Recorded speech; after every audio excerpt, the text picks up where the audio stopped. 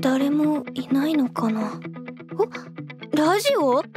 動くのかな？皆さんお便り待ってます！なんてね。言霊って言ってね。言葉には言霊が宿っているんだよ。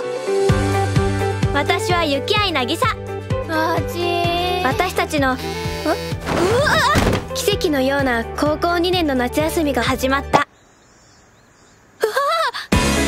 矢沢さんって言うんだって。たまたまラジオつけたら聞こえてきて。ラジオやろうよ。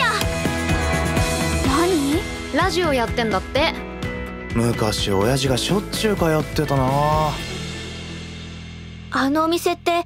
あかねちゃんがやってたんだが車の事故で寝たきりになっちまってな。聞こえますか？お母さどうせお母さんは目を覚ましたりしないのよ。んどうしてそんなこと言うの？お母様に習って皆で歌いそれを放送すればいいかと。いいね。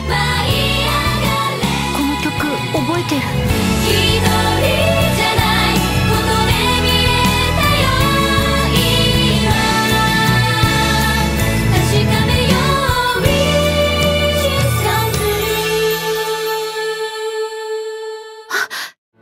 言霊ってあるんだよ